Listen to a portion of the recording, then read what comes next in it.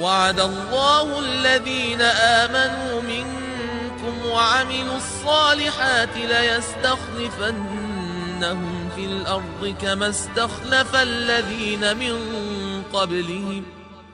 خداوند به کسانی از شما که ایمان آورده و کارهای شایسته انجام داده اند وعده می دهد که قطعا آنان را حکمران روی زمین خواهد کرد. همان گونه که به پیشینیان آنها خلافت روی زمین را بخشید.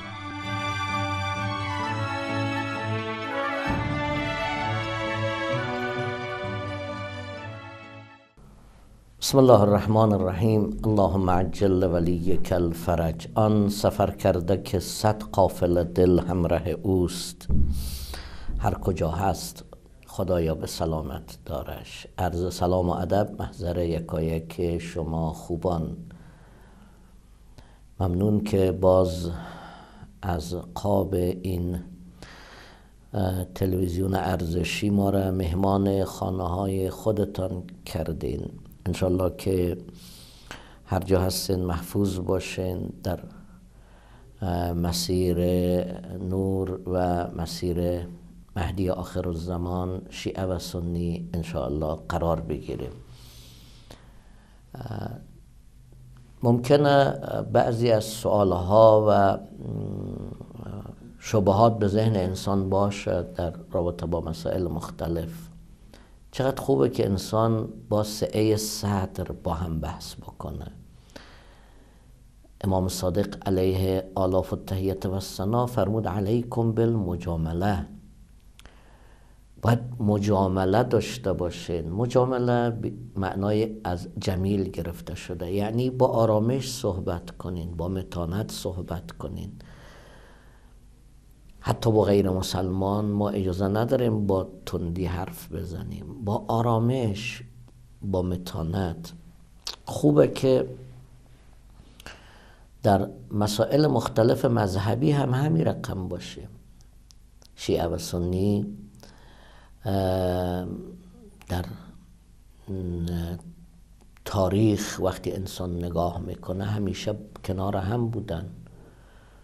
وحدت شیعه و سنی یک امر تازگی نیست.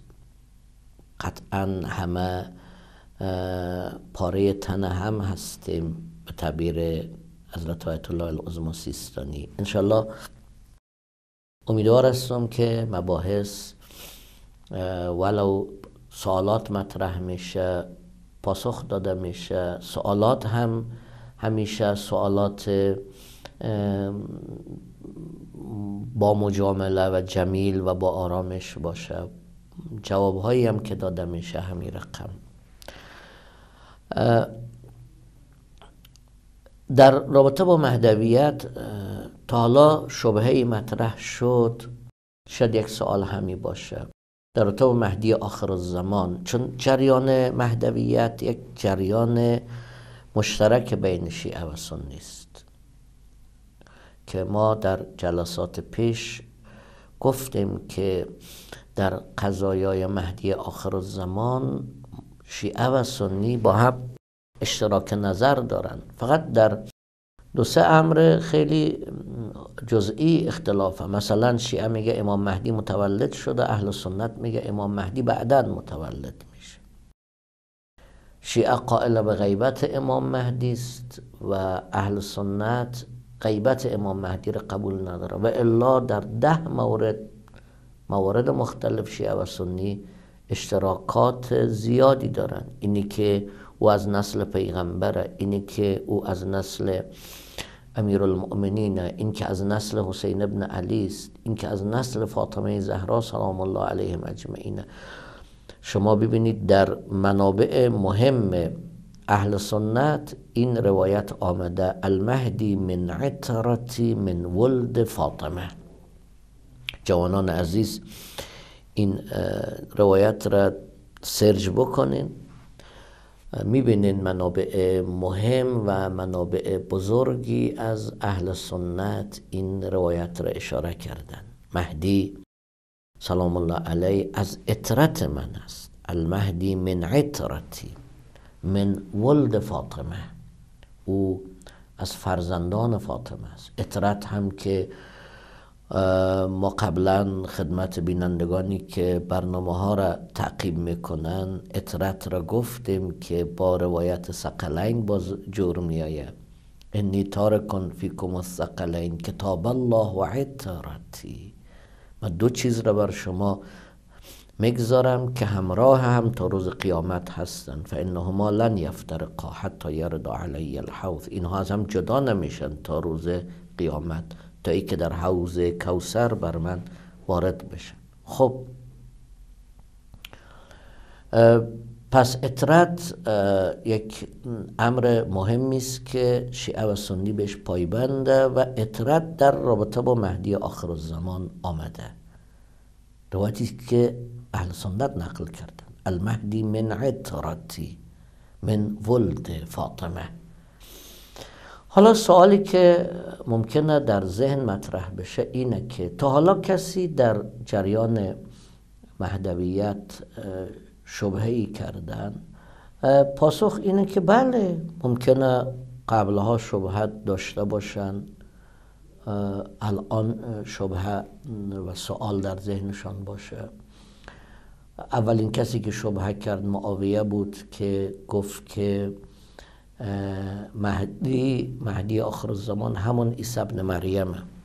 و بنی هاشم اجازه ندارن بگن که او از ماست.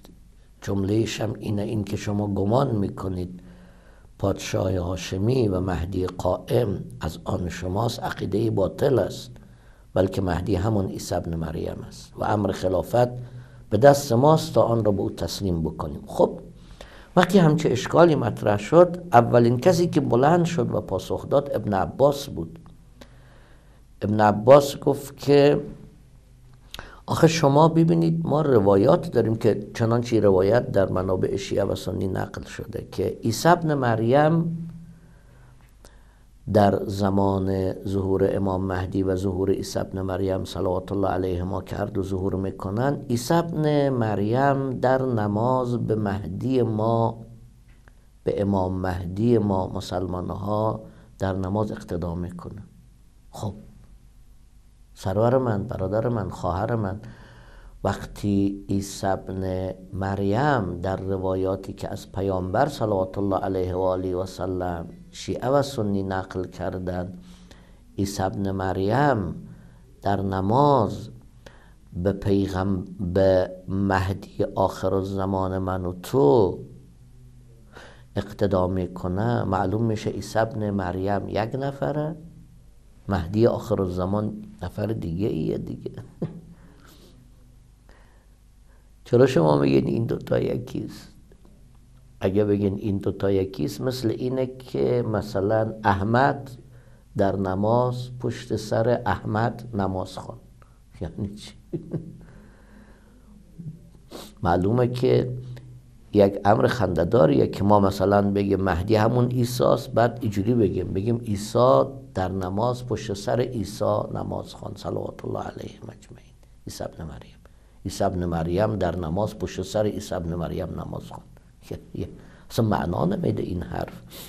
بعد نکته دیگه شما روایاتی که باز در منابع بزرگ اهل سنت هست را یک بررسی بکنین. در این روایات شیعه و سنی نقل کردن که مهدی آخر زمان از ولد پیغمبر خدا صلوات الله علیه و آله و سلم هست. خب وقتی از فرزندان پیغمبر آخر هست و پیغمبر اکرم پیغمبر اسلام وقتی از فرزندان خاتم المرسلین هست مهدی آخر زمان صلوات الله علیه مجمعین می‌تونه او عیسی ابن مریم باشه؟ میگه عیسی ابن مریم از فرزندان پیغمبر ماست؟ عیسی ابن مریم سالها قبل متولد شده. و بعد ما روایات که داریم حضرت الان بیان کردم دیگه. مهدی آخر الزمان از فرزندان امام علی امام حسین حضرت صدیقی طاهره سلام الله علیهم اجمعین هست. المهدی من اطرتی من ولد فاطمه. آیا عیسی ابن مریم من ولد فاطمه است؟ آیا عیسی ابن مریم از فرزندان فاطمه است؟ اصلا. چون بعضا ممکنه بعضی از شبکه های انحرافی بعضی از این مسائل را مطرح بکنن. قضیه را مطرح کردم. چون واقعا این گونه شبهات پیش پای افتاده و کودکانه و بسیار بسیار بسیار جاهلانه مطرح میشه. و شیعه و سنی باید مراقب باشه. جدی دارم میگم این قضیه را که ما در عصر امروز جدا احتیاج داریم به اون نقطه های اشتراکی قوی. مثلا خدا یکی داریم همین رو میگیم. پیغمبر یکی قرآن یکی.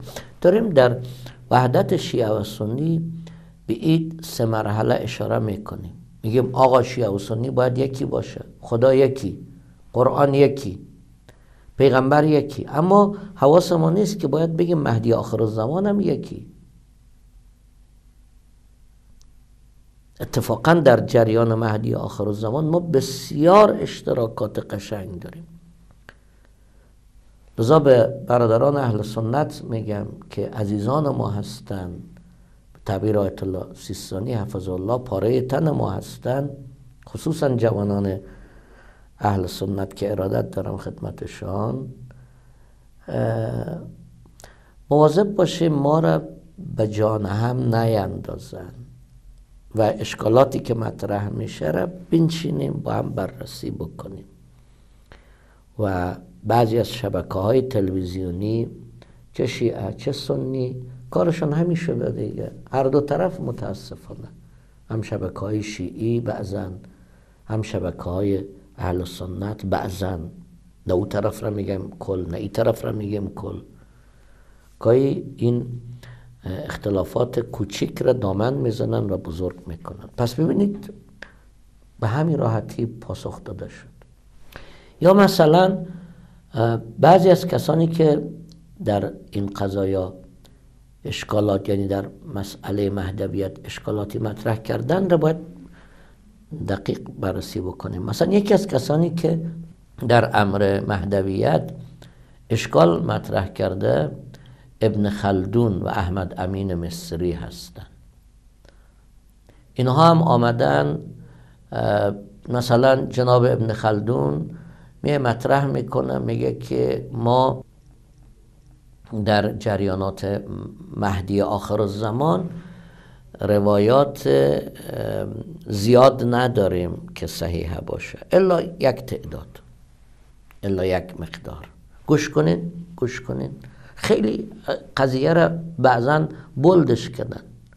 آخر لطفا وقتی اشکالات دیگران مثل ابن خلدون را می‌بینین خب یک مقداری کامل به اشکال توجه بکنین. ابن خلدون میگه که در قضایای مهدویت روایاتی که آمده اما صحیحه نیست. یک مقداری صحیحه هست. خب خب جناب ابن خلدون و آی بزرگوارانی که این اشکال را میین مطرح می‌کنین ما یک نکته براتون بگم خب خیلی خوب روایات صحیحه در قضایای مهدی آخر زمان به قول شما کمه. الا یک تعداد. خب همون یک تعداد وقتی صحیحه باشه کافیه.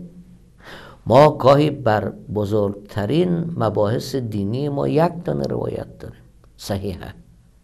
به شرطی که البته او روایت صحیحه باشه. در خیلی چه شیعه چه سنی در خیلی از احکام دینی ما ما یک دانه روایت داریم. یک روایت صحیحه. و طبق همون یک دانه روایت صحیحه ما ملزم هستیم که بالاخره تسلیم باشیم. یک مثال بزنم خدمت شما. به جوانان عزیز میگم به شماهایی که ما را مهمان خانه هایتان کردین به شما بزرگواران اهل سنت میگم به شما بزرگواران شیعه میگم. مثلا پیغمبر خدا صلوات الله علیه و آله و سلم در قید حیات یک تقاضای از ما می‌کنه. مثلا به ما میگه یک گلاس آب بده. بعد ما همینجور نشستیم. بعد پیغمبر میفرماید که من به تو گفتم یک گلاس آب بده. آیا میشه من بگم یا رسول الله چون یک دفعه فقط گفتی من لزومی نمی‌بینم حرکت کنم؟ همچه حرفی درسته؟ یا رسول الله حداقل پنج شش مرتبه بگو آب بده آب بده آب بده آب بده تا من بلندشم آب برات بیارم هیچ عاقلی همچه حرفی رو نمی‌زنه با اشاره پیغمبر باید ما جان خود رو بدیم صلوات الله علیه و آله و سلم چه برسه که تصریح بکنه بگه بیان بکنه روایت صحیح هست پیغمبر برسه. ولو یک دانه ولو یک دانه البته ما حرف ابن خلدون را من شیعه قبول ندارم من سنی هم قبول ندارم که میگه همه روایات صحیح نیست و روایات صحیح کمه. اینه که هم سنی قبول نداره هم شیعه قبول نداره. ما کلی روایت صحیحه در با مهدی آخر الزمان داریم. گیرم حرف ابن خلدون درست باشه. خب خیلی خوب. یک دانه روایت بر جریانات مهدوی باشه. کفایت می‌کنه کافیه. اما یک نکته دیگری که در رابطه با ابن خلدون خیلی جالب هست اینه که اصلا شیعه نرسیده و وقت نکرده و نیازی ندیده اینجوری بگیم. نیازی ندیده شبات ابن خلدون را پاسخ بده. می‌دونین چرا؟ ای که میگم وقت نکرده نرسیده نیازی ندیده. به خاطر که بزرگواران اهل سنت اونقدر در اشکالات ابن خلدون کتاب نوشتن و پاسخ دادن که شیعه گفته که من دیگه اصلا ورود پیدا نمی‌کنم. دست عزیزان اهل سنت میبوسیم. خیلی عالی پاسخ دادن و نیازی به پاسخ ما نبوده. خلاصه کلام. چه اشکالات ابن خلدون چه احمد امین مصری. شما از حتی اندیشمندان و دانشمندان عربستان بگیر تا الازهر مصر همه رو بررسی بکن. ببینید چقدر روایات. بز اصلا در در اینترنت سرچ بکنین. پاسخ به شبهات احمد امین مصری و پاسخ به شبهات ابن خلدون. شما می‌بینید نسبت به شیعه بزرگواران اهل سنت خیلی بیشتر نوشتن. حتی مثلا بن باز از بزرگان عربستان یه تشر می‌زنه به ابن خلدون و محکم به ابن خلدون این جمله را میگه. میگه آی ابن خلدون تو در قضایای حدیثی صاحب نظر نیستی.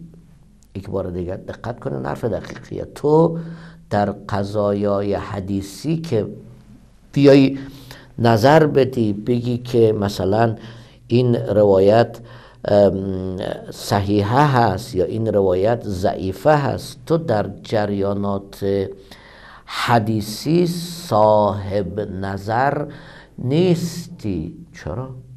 به خاطر که تو مورخی تو تاریخ نویسی؟ لذا تاریخ ابن خلدون را دیدید دیگه. خیلی ها ممکنه حداقل مقدمه ابن خلدون را مطالعه کرده باشید. تو تاریخ نویسی. وقتی تو تاریخ نویس باشی تو در جریانات حدیثی اظهار نظر نمی‌تونی بکنی. و بعد شبهات را پاسخ دیگه هم دادن این پاسخی که الان من گفتم یک دونه روایت کفایت می‌کنه اینا را بزرگان اهل سنت همه نوشته کرده.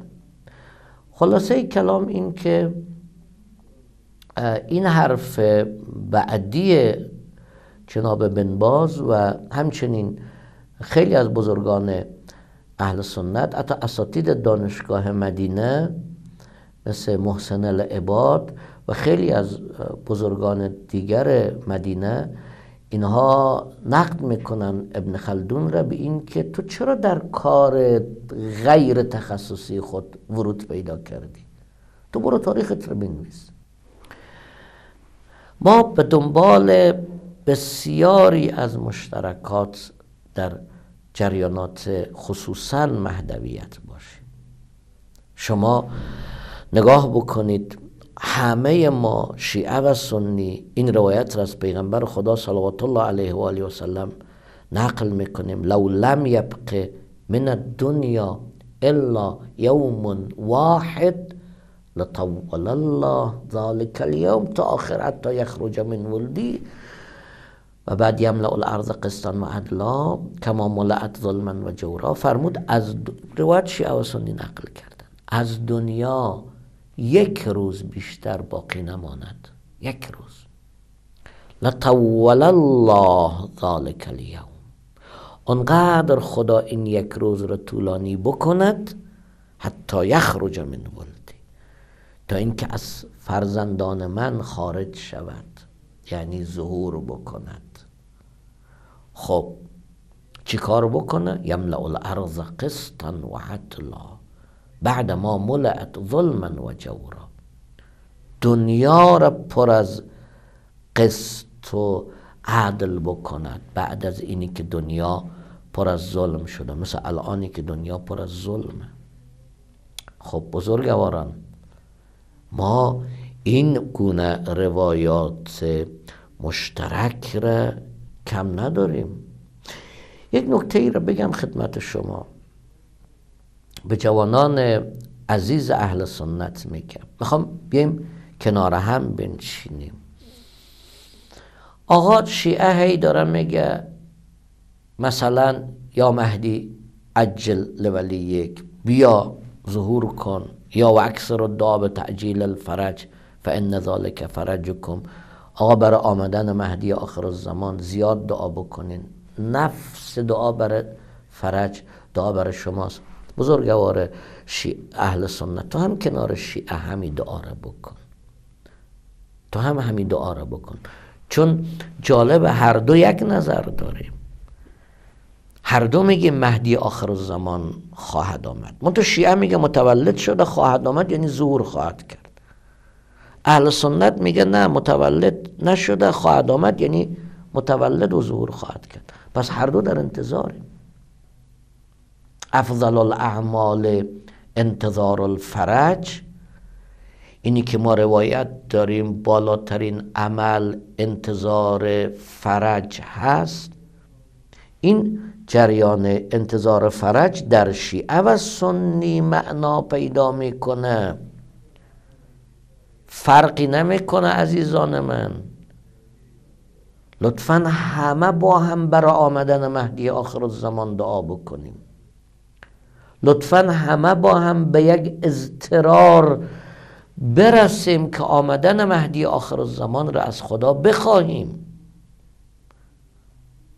لطفا همه با هم شیعه و سنی برای آمدن مهدی آخر الزمان محفل به پا بکنیم مجلس بگیریم تزرع بکنیم. پیش خدا گردن کج بکنیم. لذا یک روایت از پیغمبر خدا صلوات الله علیه و آله و سلم هست که این شیعه و سنی باید دقت کنه. همین روایت را امیرالمؤمنین صلوات الله علیه و آله و سلم صلوات الله علیه هم نقل کرده. همین روایت امام صادق صلوات الله علیه ایشان هم نقل کرده. از سه تا معصوم روایت آمده. ولا یأتیکم الا بعد ایاس ای مردم مهدی آخر الزمان نمی آید مگر این که به اضطرار برسید یعنی با تمام وجود آمدن مهدی آخر الزمان را از خدا بخواهید. ما به توی برادر عزیز و خواهر محترم اهل سنت خواهر محترمه اهل سنت برادران و خواهران به شماها دارم میگم به همه دارم میگم به پدران به مادران به جوانان به نوجوانها شیعه و سنی یک دل بشیم بر آمدن مهدی آخر الزمان. برادر شیعه و سنی خواهر محترمه شیعه و سنی. آمدن مهدی آخر الزمان منوط به این است که ما این آمدن را از خدا طلب کنیم. این آمدن را از خدا بخواهیم. پس لطفا عزیزان اهل سنت در این قضیه خود را گوشه نگیرن با همیم اجازه ندیم کسی ما را در این قضیه از هم جدا بکنه.